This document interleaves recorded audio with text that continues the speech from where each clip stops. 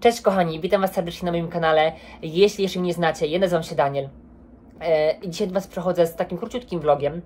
E, serdecznie oczywiście też zapraszam do subskrypcji mojego kanału, jeżeli lubicie takie, temat, e, takie filmiki z tematyką książkową, jakieś takie, wiecie, krótkie vlogi, czy też nawet dłuższe vlogi, bo często też moje vlogi mają po 30-40 minut.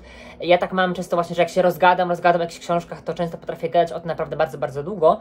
E, więc e, no też taki sposób mój prowadzenia kanału, ponieważ często e, mi wcześniej, wcze- wcześniejsze urządzenie e, ograniczało do ilości czasu, a teraz e, te filmiki są znacznie dłuższe, więc jeżeli lubicie też takie dłuższe filmiki o książkach e, i tak dalej, no to serdecznie zapraszam. Ja głównie też czytam literaturę znaczy, ja, ja też staram się czytać różne gatunki i otwierać na różne gatunki, ponieważ ja też niedawno z, zacząłem w ogóle czytać, więc e, w tamtym roku zacząłem czytać, więc już można powiedzieć, że taki mój pierwszy rok czytelniczy to był 2022 rok. Zacząłem wtedy czytać. Czytałem około czytam chyba 47 książek i to był pierwszy rok. E, w tym roku już e, przeczytałam 20, około 20 paru książek, więc e, na pewno w tym roku przeczytam ich więcej, tak? Bo też się mm, poszukuję, co lubię, czego nie lubię i tak, i, tak, dalej, i tak dalej. Więc pierwsze książki też nie, nie za bardzo potrafię im ocenić i w ogóle nam o nich cokolwiek powiedzieć. A teraz im bardziej się rozwijam, im bardziej e, czytam te książki, też nawet nagrywam te filmiki na, na YouTubie, tym bardziej mm, jakoś tak e, mi to lepiej idzie, wiem czego chcę, e, chcę od książki, szczególnie od takich gatunków, które już czytam, które, o których wiem. Czego mogę się spodziewać. Czego mogę się spodziewać, co w nich e, znajduję za fajne, co w nich znajduję za niefajne i dalej, dalej, tak dalej. Więc e, jeśli chodzi o mnie, to ja czytam e, naj, najwięcej czytałem kryminałów, thrillerów psychologicznych, więc tego czytałem najwięcej. Później to będzie też literatura chyba piękna, tak, literatura piękna, więc to było drugie. Czytałam też całkiem, e, znaczy może całkiem sporo, to, to może zbyt dużo powiedziane, ale e, jak na to, ile czytałam w ogóle książek, e, jak na to, że mm, niedawno zacząłem, no to w sumie też całkiem sporo takich rozwojówek, bo też lubię czytać rozwojówki, troszkę też młodzieżówki i tam były chyba jakieś dwie obyczajówki, więc, więc to mniej więcej, tam mniej więcej byłoby coś w tym stylu. Więc najbardziej właśnie w sumie lubię literaturę piękną, też chciałbym trochę czytać więcej młodzieżówek, e, no i głównie też literatury pięknej, bo już od tych kryminałów chciałbym trochę odpocząć. E, Nie, nie, nie mówię, że też całkowicie już nie chcę ich czytać, ale chciałbym jednak od tych kryminałów e, trochę odpocząć, bo ich bardzo dużo przeczytałem i już naprawdę chciałbym czytać coś innego. Więc jeżeli lubicie czytać w szczególności takie gatunki, no to serdecznie zapraszam do subskrypcji mojego kanału, byłem oczywiście bardzo wdzięczny za, za wszystkie sposoby wsparcia, e, czy komentarze, czy jakieś lajki, czy subskrypcje i tak dalej. E, za wszystko oczywiście z góry Wam e, dziękuję. Dziękuję, że pomagacie mi tutaj e, rozwijać mój kanał, że mogę się z Wami dzielić swoją pasją, e, nie tylko do książek, bo też e, moja pasja też jest, mam też różne pasje, tak, mam też pasję na przykład do fotografii, wiem, że tego tutaj często nie dodaję, ponieważ, no wiadomo, mam też jakieś tam swoje obowiązki, studia i tak dalej, więc nie zawsze jest też ten czas na to, żeby się w jakiś sposób tak kreatywny mm, tutaj rozwijać i pokazywać e, i tak dalej, tak dalej. E, Ale też mam zamiar wakacje, jeżeli będę trochę wię- więcej wolnego czasu, nagrywać coś e, fotograficznego, jakieś może sesje czy coś w tym stylu, e, lub cokolwiek, e, cokolwiek, cokolwiek takiego. Więc oczywiście, jeżeli jesteście zainteresowani, to serdecznie zapraszam. E, a już przechodząc do, do głównej treści tego filmiku, to oczywiście, już Wam mówię, pierwszą książką, jaką udało mi się przeczytać, to jest ten pierwszy, ostatni dzień. Autor Adam Silvera, e, wyd- wydawnictwo Winidia, tak na książkę, chyba o, o, już stopała ostrość, e, więc e, tak wygląda ta książka. Mm, książka oceniłem na 4, 4 gwiazdki na 5, e, tak właściwie oceniłem na 3,5 gwiazdki na e, 3,5 gwiazdki na 5, ale że mam mega sentyment do tej serii, no to oczywiście da mi 4 gwiazdki, e, bo tą książkę, e, w sensie tą pierwszą część, e, czyli nasz ostatni, dzień, czytałem, e, właśnie to była moja druga książka można nawet powiedzieć, że pierwsza, ponieważ pierwsza to była rozwojówka, a Sifte taka młodzieżówka to była druga książka, e, pierwsza książka, e, więc, e, więc mam do niej sentyment. Mam do niej sentyment tej, tej całej serii i to jest oczywiście prequel, czyli to, co się działo wcześniej. E, Dużo osób zna nasz ostatni dzień, e, wie o czym jest ta książka, więc tak pokrótce tylko powiem em, fabułę i tak dalej. E, A więc to jest historia dwóch, em, dwóch chłopaków, którzy się oczywiście w jakiś sposób spotykają E, I jest, coś takiego istnieje jak prognoza śmierci. Właściwie istnieje, no powstaje prognoza śmierci. Jak nasz ostatni dzień była już ta prognoza śmierci, tak tutaj to dopiero powstaje i właściwie pokusimy się nawet o, stwierdzenie, że można sobie przeczytać tą książkę e, przed nasz ostatni dzień, bo to jest jakby to, co się działo przed. Więc dopiero jak ta prognoza śmierci powstawała, dopiero jak był pierwszy dzień, więc do końca nie były spekulacje, nie wiadomo czy to działa, czy to nie działa. Też do końca tam coś nie poszło z planem, więc ludzie mieli takie um, dziwne, dziwne takie myśli i myśleli, że prawdopodobnie e, to są jakieś oszustwa, że to jest w ogóle jakiś totalny fake. E, nawet też tam lekarze i tak dalej, więc e, nie do końca wierzyli tej prognozie śmierci, temu twórcy właściwie tej prognozy śmierci. Prognoza śmierci polegała na tym, że w jaki sposób e, pewne, można powiedzieć, takie stowarzyszenie czy tak, czy tak dalej zostało stworzone, czyli, e, czyli tak zwane prognoza śmierci. I ona informowała przez e, połączenie telefoniczne ludzi, którzy zapisali się, zarejestrowali do tej prognozy śmierci, czy umrą. I wtedy dostawali taki telefon, że przez najbliższe 4, 24 godziny coś takiego może się wydarzyć, że w jakiś sposób po prostu umrą. E, I dużo osób się właśnie zapisało na tą prognozę śmierci, żeby znać, e, znać swój koniec i wiedzieć, kiedy to się właśnie zdarzy. No i e, główny bohater dostał właśnie taki, jeden z głównych bohaterów dostał właśnie taki telefon, więc później przeżywają ten cały dzień jak najlepiej potrafią. Tak jak było w nasz ostatni dzień, kiedy miałem wrażenie, że tam się naprawdę dużo działo, mimo że to było tylko 24 godziny. Po pierwsze, że płynąłem przez tą książkę, i po drugie, że tam się naprawdę dużo działo. Przez te 24 godziny tam działo się tak dużo, e, że byłem w szoku, że w ogóle przez tyle, ty, przez taki krótki czas można zrobić tak wiele rzeczy. I miałam też takie wrażenie, że e, ta prognoza śmierci mówi, że e, wiesz, żyj tu i teraz, taki ten symbol, że 24 godziny i jakby mm, przez ten, przez ten czas oni przeżyli więcej niż nawet przez całe swoje życie. Tak przysłowiowo, jeśli można tak powiedzieć. Więc żeby czerpać, yy, morał z tego taki, żeby czerpać też z tego wszystkiego, yy, z tego całego życia jak najwięcej, żeby nie stawiać wszystko na ostatnią chwilę, żyć właśnie tą chwilą tu i teraz, yy, bo nigdy nie wiadomo, co się może wydarzyć, tak? Żeby też mieć kontakt z, z naszymi bliskimi i tak dalej. E, więc to było fajne i to jest taki motyw, taki, taka wartość taka tej książki, zarówno w ogóle tej całej serii, tak? I ja też nie chciałam, mm, miałam takie nieodparte wrażenie, że być może to być taki, wiecie, odgrzewany kotlet, że to samo, e, co nasz ostatni dzień, tylko zmiana imion, lekkie prowadzenie, że no jak to powstało, kto to, kto to stworzył, tą prognozę śmierci, bo to był taki prequel, czyli że jak to w ogóle powstało i przedtem i jak to w ogóle wyglądało. E, I tyle. I jakby, wiecie, nie będzie nic innego poza zmianą imion i ewentualną zmianą historii, e, nic, żadnej takiej wartości dodanej ekstra. I e, wiecie, to było coś podobnego, więc jeżeli na przykład nie, nie podobało Wam się nasz ostatni dzień, to raczej Wam tego nie polecał, ponieważ to yy, ma podobny wydźwięk, a nawet, nawet bym powiedział, że troszeczkę było słabsze niż nasz ostatni dzień, ale nie zrozumcie mnie źle, że cała książka, tylko ta relacja tych dwójki bohaterów, gdzie w tamtej yy, serii nasz ostatni dzień miałam wrażenie, że ta relacja była naprawdę, yy, się nawet na końcu się wzruszyłem i też zżyłem się z tymi bohaterami. To było jednak takie coś, że no, to była taka, taka, taka relacja, że ten czas, który oni spędzili, mimo wszystko, że krótki, to wi wiadomo, że oni yy, nie mogli stworzyć takiej pra prawdziwej relacji, ponieważ przez 24 godziny no, nie da się stworzyć czegoś takiego, co tworzy się przez kilka miesięcy, yy, czy tam nawet, nie wiem, rok, dwa i tak dalej, tak dalej. Ale rzeczywiście to był taki, yy, taki czas, że oni mogli sobie na to wszystko pozwolić. Mm, I to naprawdę się dobrze czytało, naprawdę było te wszystkie dialogi, to wszystko było w taki sposób ułożone, że nie miałam takiego nawet cringe'u, już wiecie, że to wszystko było takie naturalne i tak dalej. Tu miałam takie trochę wrażenie, że autor nie do końca miał e, taki pomysł e, na, na tych e, dwójkę bohaterów, co oni takiego mają przez, przez ten czas robić. E, trochę ta relacja była taka przez autora zinfantylizowana, co mi się oczywiście nie podobało, bo ja nie odbierałam tego mm, w nasz, nasz ostatni dzień, czyli tej pierwszej części, absolutnie tego nie odbierałam, tak? Oni zachowywali się na taki wiek, e, jaki oni mieli, tak? A tutaj, jak oni tam też było, że wspominali, że mm, o szkole średniej, kiedy był w szkole średniej i tak dalej, i tak dalej. A miałam wrażenie, że czasami, że oni się po prostu też zachowują troszkę jak, nie wiem, 15-16 latkowie, więc miałam takie wrażenie, że autor właśnie zinfantylizował e, tą całą ich relację.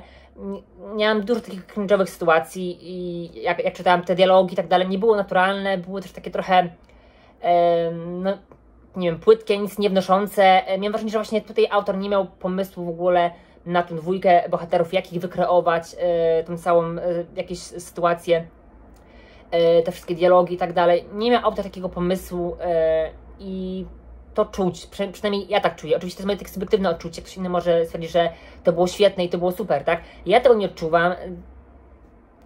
W sensie, ja też mam ty, e, sentyment tej, tej, tej, całej serii, tak wcześniej wspominałem, więc nie znaczy, że to jest zła książka, bo oprócz tego właśnie podobało mi się, też na końcu były odniesienia do tej e, książki Nasz Ostatni Dzień, czyli tej pierwszej części, czyli coś, coś tam później wydarzyło, więc to mi się też podobało, ten aspekt. E, właściwie miałam też takie wrażenie, że jakby to pisało w ogóle dwóch zupełnie innych autorów, ponieważ e, do 300 strony to właśnie to się tak ciągnęło i miałam wrażenie, że oni przez 24 godziny, przez ten czas nie zrobili właściwie wiele. Tak jak było w książce tej naszej ostatniej dzień, czyli tej pierwszej, to naprawdę miałam takie, takie wrażenie, że tam się dużo działo. Tam się nawet dużo działo przez ten cały dzień, nawet aż za dużo. E, ale fajnie się to czytało, a tutaj tak się trochę to ciągnęło e, i to mnie ta relacja była taka mm, trochę taka nie, wiem, niespójna.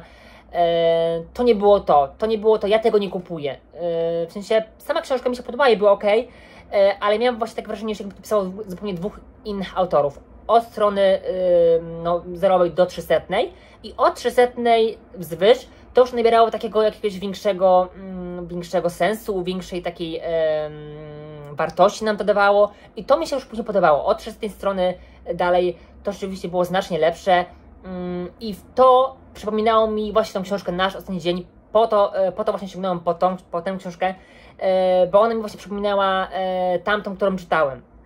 I oceniając ją, tak mówię, oceniłbym, oceniłbym ją na 3,5 gwiazdki, ale z racji, że mam sentiment na, czte, na, na 4 oceniłem. Więc sama książka była spoko, w sensie podobała mi się e, jako całokształt, bo mm, jedyny taki minus to chyba była ta właśnie relacja, relacja tych dwóch chłopaków, która mm, nie była tak dobrze wykreowana, ponieważ ja się z tymi bohaterami nie zżyłem, tak to było w pierwszej części. Ja nie czułem właściwie żadnych emocji, nawet nie wzruszyłem się, mimo że były tam na końcu wzruszające e, e, chwile. Autor zawsze tak właśnie zazwyczaj robi, że wprowadza takie wzruszające chwile, mm, i ta książka miała być taka trochę, wiecie, cute, e, taka, wiecie, romantyczna i tak dalej, trochę jak Heartstopper, Um, ale taka nie była. Miałam, miałam wrażenie, że jak na ich wiek to była trochę taka zinfantylizowana ta ich relacja um, i autor nie do końca e, odniósł to, co zamierzał. Tak przynajmniej się wydaje, taka to jest subiektywna ocena. Ale koniec końców książka mi się podobała, bo fajne wartości też daje, e, ale tak jak mówię, rozpat rozpatrywałbym to głównie jako młodzieżówka, Naprawdę są czasami takie młodzieżówki fajne, które poleciłbym absolutnie starszym osobom i spokojnie można czytać, jest, tak są super napisane. E, nie masz jakichś też zbytnio jakichś cringe'owych scen, wiecie, naprawdę takie mm, piękny styl pisania i tak dalej. Naprawdę się e, mi to bardzo podobało. A tutaj ten styl pisania jest taki, wiecie, e, dość prosty, jak e, mm, taką książkę, dość prosty, po prostu nazwijmy to sobie, że jest dość prosty. Też pojawiało się tam dużo jakichś takich, wiecie, mm, jakichś wulgaryzmu, przekleństw, które jakby, wiecie, no okej, okay, czasem się pojawiałam w książce i to też jest okay, ale tego było trochę za dużo. Miałam, miałam wrażenie, że w, w, tamtej książce czegoś takiego nie było, a to było tego dość bardzo dużo i tak wiecie, mm, nie fajnie się to czytało. Nie, że miał jakiś z czymś problem, ale jak wiecie, jak jest dużo tego i to też nie, nie wnosi żadnej takiej e, war, wiecie, wartości, ani też nie odzwierciedla jakiegoś, e, nie wiem, charakteru, czy coś, czy coś takiego nie wnosi, no to używanie ich cały czas, cały czas i cały czas jest trochę takie mm, niefajne, przynajmniej tak moim zdaniem ale ogólnie e, książka ciekawa, bo naprawdę e, ja przed tą książką też, też mo można powiedzieć e, płynąłem już później, później od jakiegoś czasu. Mi się naprawdę podobało od 300 do końca, mi się naprawdę mega podobało. I tam e, miałem właśnie to, co było w tej, nasz, e, tej pierwszej części, nasz dzień, to było naprawdę to, e, czego właśnie chciałam od tej książki i to mi się podobało. Była też trochę poruszone inne sceny E, sceny na przykład też właśnie też przemocy i tak dalej, więc e, fajnie, że też autor dodał tro, trochę czegoś innego, ale mam wrażenie, że tych właśnie wartościowych rzeczy fajnych, co byłbym takim ekstra czymś, nie takim odgrzewanym kotletem i wiecie, taką, tą samą historią, tylko z innymi, e, z, in, z innymi imionami, tylko czymś takim ekstra dodanym, żeby ta seria się czymś, jakby wiecie, ta książka czymś wyróżniała, że to nie było tylko kopiuj w klej, zmiana imion, nazwisk, trochę sytuacji, lekkie prowadzenie, o czym jest e, ta prognoza śmierci, tylko żeby właśnie dała jakąś taką fajną wartość, żeby była, że takie, takie coś, że kurczę, czytałem tą książkę i naprawdę było warto przez tą książkę, ponieważ nie było to samo co tamto, tylko było, e, było czymś, czymś więcej. E, I na końcu było, i wydaje mi się, że autor bar zbyt mało na to poświęcił uwagi, zbyt mało mm, na te właśnie takie problemy, które moim zdaniem były ważne, a jakby autor e, dał więcej takich rzeczy, to mi się wydaje, że ta książka była naprawdę świetna, a była trochę taka, prze, może być taka przegadana, mm, taka wiecie, o wszystkim i o niczym, więc takie jest moje zdanie o tej książce. Ale ogólnie, jeżeli czytaliście nasz ostatni dzień i chcecie, e, i Wam się podobało przede wszystkim, no to Wam polecam tę książkę, bo, bo, jeśli macie, e, czy nawet sentyment tej książki, czy po prostu Wam się podobała, to wydaje mi się, że ta książka też może być dla Was ok, szczególnie dla młodzieży. Naprawdę, naprawdę spoko książka, więc, e, więc polecam. Następną książką jest e, Graj jak się da Joan Didion. Wydawnictwo Relacja. Trwałam współpracę e, właśnie z tym wydawnictwem. E, to jest literatura obyczajowa. I ta książka jest naprawdę specyficzna. Ta książka jest naprawdę specyficzna. Niech Was nie złudzi to, że to jest literatura obyczajowa i to jest jakieś, wiecie, e, takie prostym językiem pisane, ponieważ naprawdę ten język jest dość specyficzny. Jeszcze nigdy, nigdy nie spotkałam się właśnie z czymś takim. A tutaj nic nie jest, wiecie, tak pisane takie dosadnie, prosto w, prosto w twarz, prostolinijnie. Nie ma czegoś takiego. To jest bardziej wiele rzeczy niedopowiedzianych, niejasnych jakichś sytuacji. Więc my musimy na bazie naszych doświadczeń, na bazie naszych, yy, na, naszych, na, naszych wyobrażeń i tak dalej, musimy sobie właśnie e, dalej dopowiedzieć coś. Wiele rzeczy jest też właśnie, tak mówię, niejasnych, więc nie jest konkretnie powiedzianych yy, nam o co chodzi i to jest właśnie też takie fajne, że ta książka jest trochę też taka tajemnicza. Czy tajemnicza, w sensie, że taki, taki styl jest pisany, że Mm, są e, takie pod, e, podrozdziały, można powiedzieć, takie rozdziały dość krótkie, często urywane właśnie w połowie, e, niedokańczane. Autor właśnie, właśnie tak, o, przepraszam, autorka celowo właśnie tak zrobiła, żeby, żeby te wiele rzeczy było takie skłaniało nas do refleksji nad, nad, nad tym wszystkim, a my dzisiaj mówię, o czym jest książka. Książka jest w ogóle o, o, o świecie celebrytów, gwiazd filmowych w latach właśnie 70. i to jest głównie o aktorce Mary Wyatt, nie, nie wiem, czy ja dobrze to wmawiam. E, no i właśnie mm, o to chodzi, że ta autorka, e, mamy już opisywaną tę całą autorkę, pokazane, że też, że sława, to jest trochę taka książka na podobę Siedmiu mężów Evelyn Hugo, i to jest też literatura obyczajowa, jak, jak też tam ta książka Evelyn Hugo, ale zupełnie inny styl pisania, naprawdę, zupełnie inny styl pisania, E, no wiadomo, że też są, też są to jest też w latach 70., więc e, inny język też jest użyty e, i też powiedzmy zachowany. Więc fajnie, fajnie się tę książkę czytało, ponieważ ona była takim, taką, nie wiem, można powiedzieć odskocznią, ona była czymś takim innym od tych takich typowych książek, których, które czytam. Więc Wam też polecam, nawet żeby się z tym zaznajomić, z takim trochę innym stylem pisania, bo był naprawdę bardzo ciekawy. Wciągająca książka, ja przeczytałam chyba w dwa dni, czy jakoś tak.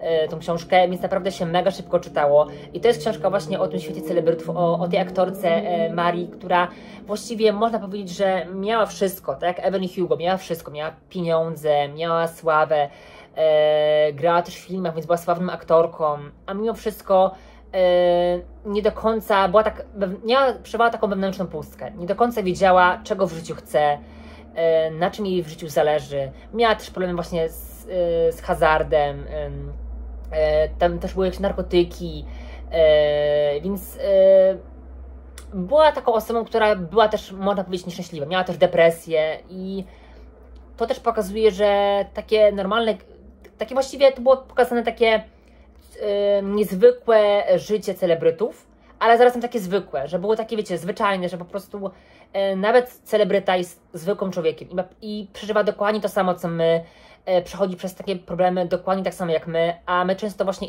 idealizujemy naszych celebrytów, e, mamy jakichś ulubionych powiedzmy i zawsze mamy, ktoś się pokazuje z, jakiejś, z takiej najlepszej strony, wiecie, zawsze jest tak, że nikt się nie pokazuje z najgorszej strony. Wszyscy się pokazują z tej strony najlepszej, e, więc my zawsze mamy takie wrażenie, że ktoś e, ma piękne życie, usłane różami, e, jest takie piękne i my też tak chcielibyśmy żyć a czasami, czasami jest tak, że właśnie po tej drugiej stronie e, dzieje się zupełnie coś innego, zupełnie coś innego, o czym my nie mamy pojęcia. I często właśnie życie tych celebrytów e, nie jest takie, takie piękne.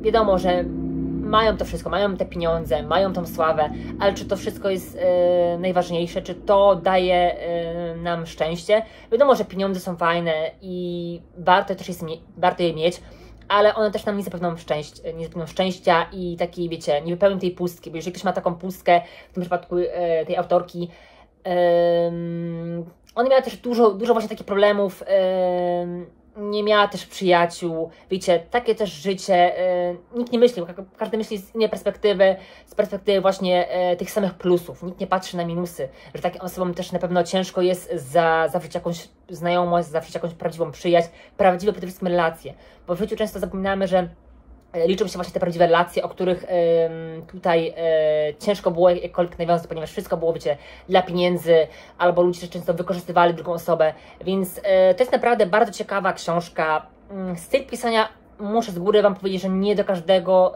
gusta, nie, do każdego gustu przypadnie, na pewno, ale warto spróbować, więc Wam też polecam serdecznie tę książkę. Nie wiem, czy właśnie czy powiedziałam ocenę tych, tej książki, dam tej książce 4 na 5 gwiazdek.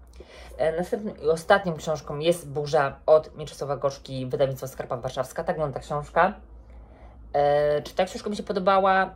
Mm, ciężko było mi na w sensie miałam takie mieszane uczucia. E, trochę tak, trochę nie, więc takie dałam 3,75 na 5 gwiazdek. E, to jest ogólnie kryminał, e, ale ile w tym kryminału, wiecie, mm, niezbyt dużo, sam, sami nawet fani autora, którzy mówią, że kupują jego wszystkie książki, czy opinie, wszystkie książki w ciemno, byli zawiedzieni tym, ponieważ autor trochę zmierza w innym kierunku, może obrał jakąś inną stronę. E, sami stwierdzili, że więcej tutaj fantastyki niż e, samego kryminału i akurat się absolutnie z tym zgodzę, ponieważ taka kryminalna część e, to jest ta, że jest e, jakieś morderstwo e, pewnego chłopczyka. E, I to jest bardzo dziwne, że właśnie mm, to morderstwo dzieje się w kilkunastu miejscach, tak, kilkunastu, tam 12, już mam 13 miejscach, nie pamiętam, nie pamiętam dokładnie, 12 albo 13. Um, I wszędzie jest ten sam chłopczyk, wszędzie jest e, ten sam chłopczyk, zupełnie w różnych miejscach, e, morderstwo mm, to, i to jest zupełnie ta sama, ta sama osoba, nie jest, że jak podobna, podłożona, e, wszędzie znaleźli te same DNA, i tak dalej, i tak dalej. Wszędzie jest ta sama popełniona kurtka krwią w tym samym miejscu i wszędzie wygląda jakby to była dosłownie ta sama osoba. To jest bardzo dziwne, ponieważ wszędzie jest 12 takich samych chłopców w innych miejscach jest bardzo podejrzany. A mianowicie o co w ogóle w, tym chodzi? Mamy tu takie e, wątki jak podróż w czasie, takie wątki w ogóle paranormalne, e, właśnie podróż w czasie, przeszłość, przyszłość. Mamy tu jakichś e, strażników czasu e, i tak dalej, więc mm, no to jest typowy kryminał, ale no takiego kryminału to już nigdy nie, nie czytałem. Bardzo dużo właśnie tej, tej takiej fantastyki, e, więc e, no zależy, jeżeli ktoś lubi takie, takie, e, takie tematy w kryminałach na przykład, no to polecam. Jeżeli nie lubicie stricte fantastyki, no to raczej to nie będzie książka dla Was, tak? Mm, ale właśnie jeżeli też na przykład lubicie serial Dark, lub oglądaliście i na przykład Wam się spodobał, to to jest bardzo podobne. Jeżeli coś zrobimy w przeszłości, to też będziemy mieć jakieś tam e, odniesienie do przyszłości. Jedno z drugim się koreluje i jakby wiecie, mm, jedno drugie ma wiele są wspólnego. E, i oddziałują na siebie obopólnie. Więc e, to jest też ciekawa historia, aczkolwiek mm, wydaje mi się, że też byłaby tak jakoś do końca przemyślana i że to wszystko miało tak ręce i nogi. Miałam czasami takie trochę pogubiłem się i tak dalej. E, ale to mówię, jest to moja taka subiektywna, subiektywna opinia. Jeżeli oglądaliście właśnie serial Dark, to na pewno Wam się to powinno, spodobać, bo sam, sam e, fabuła, taki motyw był całkiem spoko, mm, pomimo wszystko, że nie lubię takich e, właśnie wątków fantastycznych w kryminałach, e, e, takich rzeczy, to mi się jakoś to nawet całkiem spoko spodobało, ale nie do końca ten cały zamysł, e, cały zamysł na całą taką książkę, im bliżej, e, w sumie im bliżej byłem końca, tym mniej mi się to jakoś podobało i nie do końca to miało na mnie takie ręce i nogi. Jak sami też fani autora wspominali, że no, e, pisanie też takich fantastycznych rzeczy, tym bardziej za, zagłębianie się w takie podróże w czasie, że wiecie, wszystko musi mieć ręce i nogi, że jakby przyszłość musi się wiązać z przeszłością i tak dalej, jakieś skutki i tak dalej, e, więc e, to też trzeba, trzeba mieć tak, jakąś pewną taką wiedzę i tak dalej e, i pewne jakieś takie doświadczenie, tak, więc wiadomo, że e, e, tutaj typowo autor kryminałów wziął się za coś innego, więc też y, dużo właśnie fanów y, mu to wytknę, czy znaczy wytknęło. W sensie to nie ma, nie ma nic złego, że ktoś pisze w innym, y, w innym zupełnie styl, stylu, w innym gatunku, tak? Zmierza w jakąś inną stronę. Ale wiecie, no też, też to musi być przemyślane i tak dalej, wszystko dokładnie przeprowadzone. Więc tu mi chyba trochę, trochę coś tak nie do końca pasowało, ale tak mówię, to moja subiektywna opinia, Wam się może oczywiście spodobać, ponieważ to nie zmieni faktu, że to była dobra książka i mi się naprawdę fajnie ją czytało, e, coś w stylu właśnie fanów, e, jeżeli mamy tu fanów serialu Dark, to naprawdę polecam tę, tę książkę, bo właściwie też miałem ochotę, czasami tak mam taką ochotę, że jeżeli oglądam jakiś serial, mam ochotę przeczytać jakąś książkę, która byłaby podobna e, do serialu i tu właśnie, tu właśnie takie coś było. No i abstrahując w ogóle od tej książki, też niedawno wstawiałam na Instagram jakieś tam posty i też ludzie często tak mają, znaczy nie tylko, no w tym przypadku autorzy ogólnie, tak, ale ogólnie w ogóle twórcy, twórcy, nie wiem, czy nasz na YouTubie, czy jakieś wiem, artyści pod, pod względem, nie wiem, fotografowie, fotografowie, tak się mówi? Tak. piosenkarze, nie wiem, osoby, które tworzą jakieś tam nie wiem, no, treści, nie wiem, jakieś rysunki na przykład tworzą, tworzą jakieś makijaże, w ogóle artyści, którzy coś tworzą, mm, nawet jakiś kontent rozrywkowy, chociaż tam akurat, no wiecie, to jest kontent, to kontent rozrywkowy, więc on celowo jest jakiś tam mm, nie, powiedzmy niedopracowany, śmieszny i tak dalej, nie jest idealny, e, więc bardziej tutaj chyba chodzi o artystów, e, czy w ogóle jakichś twórców, takich, którzy tworzą coś, nie wiem, jakieś wyroby z czegoś i tak dalej, to często jest tak, że właśnie mają tą, yy, gdzieś głowy, że odbierają właśnie tą konstruktywną krytykę jako coś złego i coś nienaturalnego. Yy, nie wiem, może dlatego, że te, te osoby, ci twórcy yy, postrzegają to jako atak. Właśnie często, tak, często jest tak, że wielu twórców taką konstruktywną krytykę odbiera jako atak, jako coś złego. Jeżeli my, mm, w sensie my jako odbiorcy, pisząc jakiś komentarz lub cokolwiek, nie wpasowujemy się w poglądy mm, autora, tego, tego twórcy, co stworzył jakiś tam dany produkt, dany filmik, czy tam cokolwiek, mm, to jesteśmy często odbierani jako atak. Więc jeżeli nawet jak ta, ta odpowiedź jest taka konstruktywna i wiecie, nie ma tam nic obraźliwego, to i tak często jest odbierana jako atak, więc e, moim zdaniem absolutnie konstruktywna e, krytyka jest potrzebna i też dobra. E, jeżeli nie, mówię, nie, ma, nie, ma w nim, e, nie ma w niej nic e, obraźliwego, to jest jak najbardziej ok, ponieważ też z takiej krytyki możemy coś wynieść, tak? Jeżeli na przykład w tym przypadku, no nie wiem, no powiem o, o sobie, tak? Mm, ktoś by mi napisał, że na przykład, nie wiem, twoje i nawet jak coś jest, e, nie zgadzamy się z czymś, bo mam prawo się z czymś nie zgadzać, to jest absolutnie ok, czy się z czymś zgadzamy, czy nie zgadzamy. Po prostu to jest taki mm, odpowiedni odbiór krytyki. Powinni, powinniśmy też się nauczyć i też być takim E, umieć właśnie odpowiednio odbierać tą krytykę.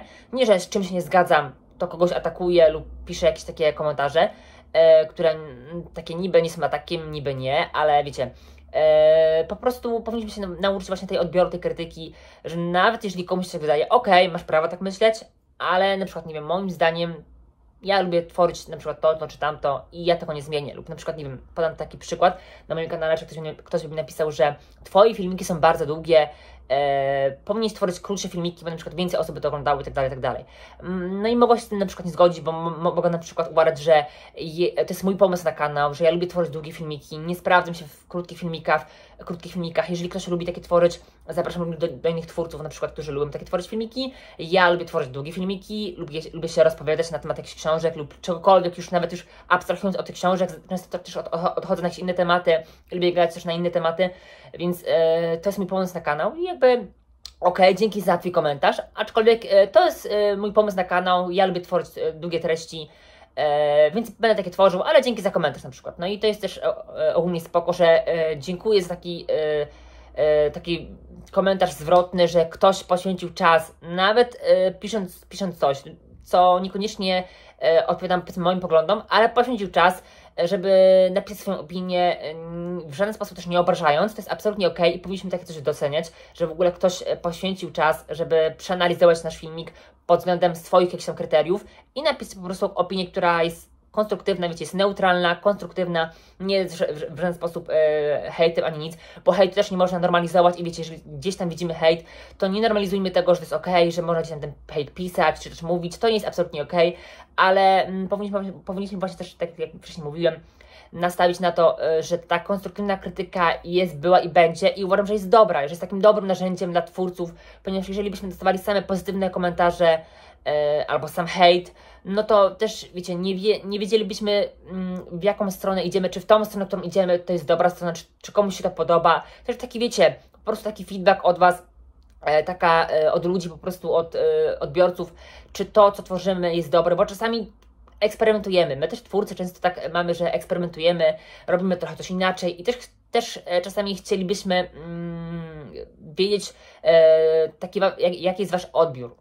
E, czy też nawet jakbyśmy nie chcieli wiedzieć, to wiecie, zawsze takie coś jest dobre, ponieważ zawsze z czegoś takiego możemy wyciągnąć coś, co jest dobre dla naszego kanału, dla, naszego, e, dla, dla naszej twórczości, czy tam cokolwiek robimy. E, co się sprawdza i co jest dobre dla Was. Wiem, że często jest tak, że twórcy robią coś dla siebie, niekoniecznie powiedzmy stricte dla widzów. Wiecie, że ktoś lubi robić coś i robi dlatego, że to kocha i nie chce zmieniać się lub e, lub tworzyć coś, co jest bardziej nawet mogłoby być popularne, bardziej, nie wiem, oglądane, częściej, nie, wiem, też kupowane, częściej słuchane lub cokolwiek, ale chcę robić coś niszowego, coś innego, ponieważ to mu sprawia radość, a nie chcę robić tylko, e, tylko coś z, z wyłącznie, dla, dla ludzi, w sensie to, co ludzie chcą, to, co oczekują, ale coś, co nie będzie sprawia, sprawiało żadnej radości i takiego spełnienia dla tej osoby, więc to jest absolutnie normalne, więc... Yy, ogólnie podsumowując, konstruktywna krytyka jest najbardziej ok i powinniśmy też e, jakiś, nauczyć się w odpowiedni sposób odbierać, bo właśnie bardzo dużo osób odbiera to jako atak e, i to było takie, oczywiście z mojej strony tak zupełnie, wiecie, zupełnie taka luźna rozmowa, ponieważ chciałam właśnie też poruszyć ten temat, e, że to nie, nie tyczy tylko się właśnie głównie takich małych twórców, ale wiecie, i średnich, i dużych i to jest dla dla każdego. Takie oczywiście moje przemyślenia. E, dajcie znać w ogóle, e, co o tym myślicie, czy jeżeli wy coś tworzycie, na przykład nie, nawet na Instagramie, czy nawet na, nie, na Facebooku, na, na YouTubie może, albo gdziekolwiek macie jakieś vloga, czy cokolwiek, czy, to, to, czy też tak macie właśnie, jak reagujecie na taką konstruktywną krytykę, czy odbieracie to właśnie jako jakiś taki, nie wiem, hejt, jako coś negatywnego? Czy lubicie, jeżeli ktoś Wam daje taki feedback i mówi Wam, co jest na przykład złego, co jest dobrego w, wa Waszym kanale? Ponieważ mi się wydaje, że tak jest e, nie tylko też potrzebne, ale też dobre do, do rozwoju. Do rozwoju, żeby po prostu wiedzieć, co w Waszej twórczości jest e, odbierane źle, co odbierane jest dobre, co można poprawić, co można polepszyć itd., tak itd. Tak Zawsze wszystkie takie rady są moim zdaniem dobre. No i to było w sumie na tyle, na, na tyle w tym filmiku. Serdecznie zapraszam oczywiście do subskrypcji mojego kanału, e, zostawienia kciuka w górę, jeżeli Wam się ten filmik podobał. No i zapraszam już na mojego Instagrama, tu będzie dzisiaj chyba nazwa. Serdecznie zapraszam na mojego Instagrama. Mój Instagram jest stricte taki, można powiedzieć, fotograficzny, więc najwięcej tam jest e, takich fotograficznych rzeczy. Yy, więc jeżeli, wam, jeżeli Was takie rzeczy interesują, to oczywiście serdecznie zapraszam. Yy, I to było na tyle w tym filmiku. Ja się z Wami żegnam. Do zobaczenia.